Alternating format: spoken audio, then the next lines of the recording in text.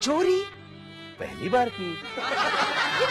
What an excuse अगर मैं कल मोनिशा का खून कर दूँ और कहूँ पहली बार किया तो चलेगा?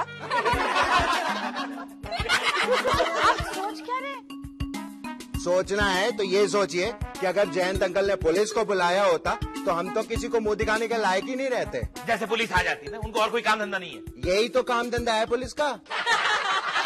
मोनिशा तुम तुम तो अच्छे खासे वैल्यूज़ वाले मिडिल क्लास घर की लड़की हो ना? दिवाली पर मम्मी की साड़ी कटवा करके उसमें से सलवार कमीज बनाती हो। आम की गुटली तक वसूल करती हो मुखवास बनाकर। लोकल कॉल करने बैठती हो तब भी स्टॉप वॉच लेकर के बैठती हो।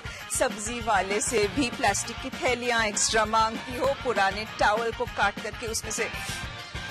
वो समझ गई। आगे डांटो माया। तुमने चोरी की? टिकट चुराई नहीं थी। मैंने तो जयंत अंकल से कह के टिकट निकाली थी कि जयंत अंकल मैं आपकी बैग में से टिकट निकाली हूँ हाँ?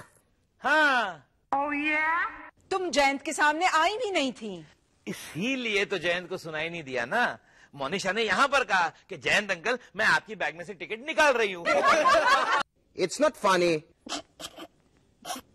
वो तो हंस रही है। मैं हंस ले रही हूँ। मेरा तो मुँह ही ऐसा है। और यही मुँह हम किसी को दिखाने के लायक नहीं रहते। अगर पुलिस आ जाती, यही कहना चाह रहे थे ना तुम? वाइल्ड